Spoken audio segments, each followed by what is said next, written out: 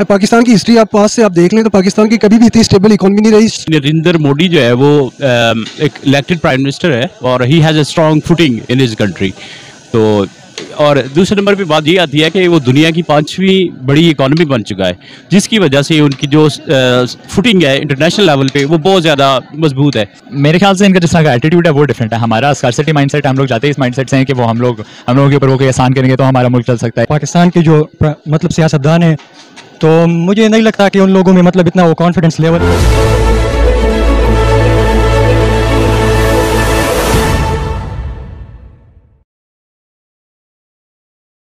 जय हिंद दोस्तों, जय श्री राम।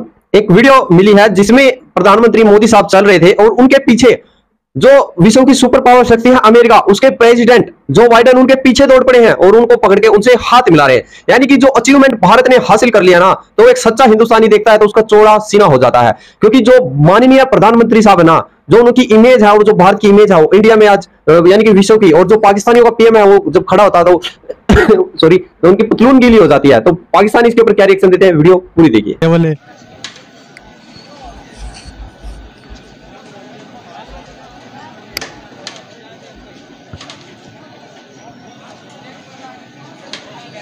है हाँ, मसला यही है कि देखें जो भी आपकी कंट्रीज़ है ना हर कंट्री का स्टेक होता है और कंट्री टू कंट्री वेरी कर रहा होता है। किसी कंट्री को कुछ देने के लिए आपके पास होगा तो वो उस कंट्री की तरफ़ झुकाव अब पाकिस्तान की हिस्ट्री आप पास से आप देख लें तो पाकिस्तान की कभी भी इतनी स्टेबल इकॉनमी नहीं रही। स्टार से लेके 1970 तक पाकिस्तान एक वर्ल्ड डेवलप कंट्रीज़ के अंदर शुमार किया जाता था और हमारी इकतसादी जो पॉलिसीज़ वगैरह थी, वो बड़ी बड़ी रिनाउंड पॉलिसीज़ थी उस वक्त के अंदर। पता है दुनिया हमें इज़्ज़त की नज़र से भी देखती थी।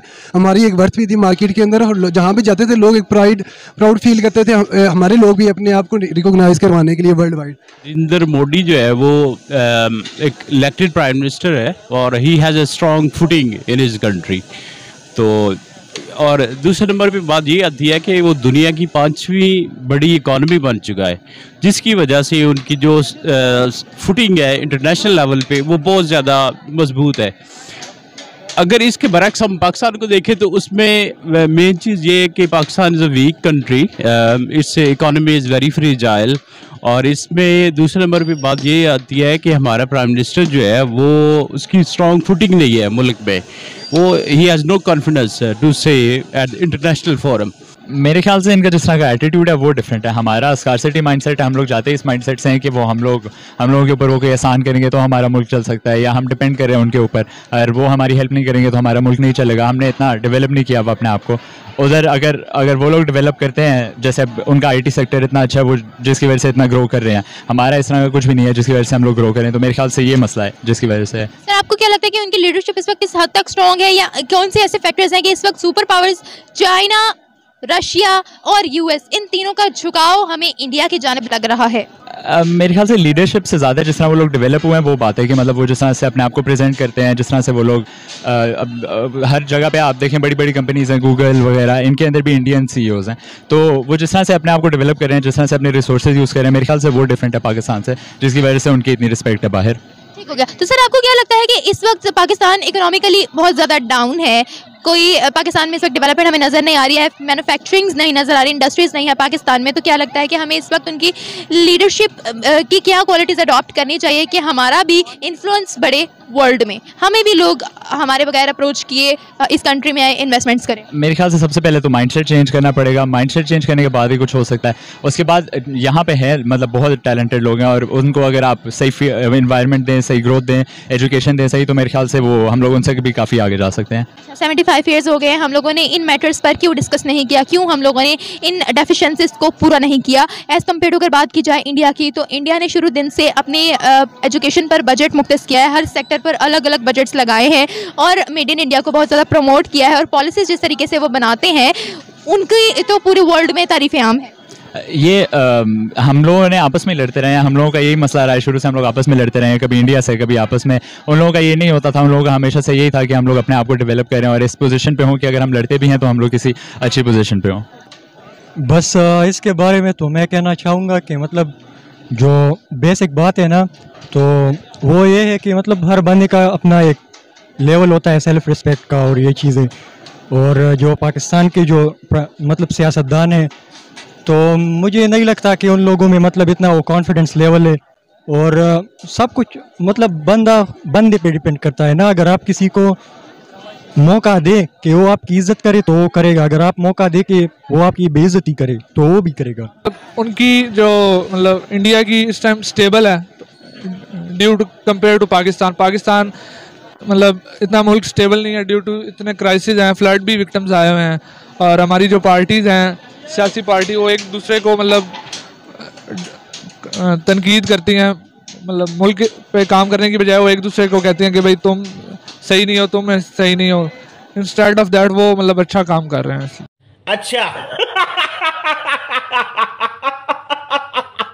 की बात समझ गए अब यहाँ पर सवाल यह है कि पचहत्तर साल हो गए हैं। शुरू में अगर बात की जाए तो हमारी इकोनॉमी स्टेबल थी, लेकिन जूं जूं आगे हम बढ़ते गए, हम पीछे की तरफ़ मूव करते गए। पाकिस्तान में कोई भी अपनी मैन्युफैक्चरिंग इंडस्ट्री नहीं है इस वक्त तो आपको क्या लगता है कि इस वक्त जो हमें सुपर पावर्स चाइना का भी झुकाव, इंडिया की जानब है अमेरिका का भी, इंडिया की जानब है रशिया, बांग्लादेश को देख लें, सब इंडिया की जानब मूव करना पसंद करें। इवन कि हमारा बरसों पुराना दोस्त चाइना, वो भी हमें छोड़ के इंडिया की जानब बढ़ गया है। तो आपको क्या लगता है उन्होंने ऐसी कौन सी डेवलपमेंट्स किया या उनकी लीडरशिप में ऐसी क्या खूबियाँ हैं जो इस वक्त उनको आगे बढ़ने में मदद दे रही है। हालाँकि सेपरेशन दोनों कंट्रीज़ की 1947 में एक ही वक्त हुई थी। अच्छा ये डिपेंड इस चीज़ के ऊपर करता है कि अगर पावर का आप एनालाइज करें ना वर्ल्ड वाइड की कौन सी पावर के तो जो बड़ी पावर होगी वो जो दूसरी बड़ी पावर होगी उसको ज़्यादा तवज्जो भी देगी और इस बड़ी इज़्ज़त के फोरम से आपको देखेगी भी और आपको रिस्पेक्ट भी देगी। सर मैं यहाँ पर आपको एक काउंटर करना चाहूँगी कि अगर दो यूनिवर्सिटीज है एक यूनिवर्सिटी बहुत बड़ी है लेकिन वहाँ पर पढ़ाई कख नहीं है।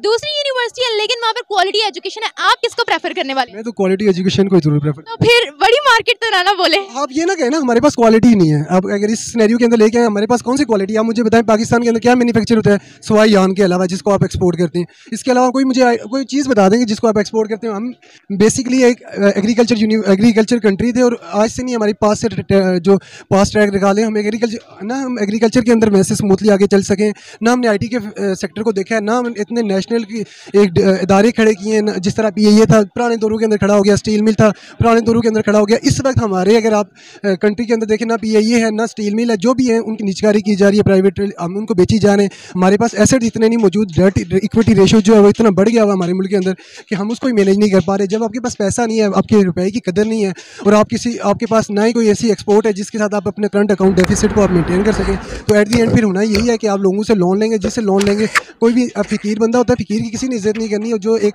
नेशन जो होती है जिसके अंदर अपनी सेल्फ रिस्पेक्ट होती है। तो दोस्तों, पाकिस्तानियों की ये हालत है।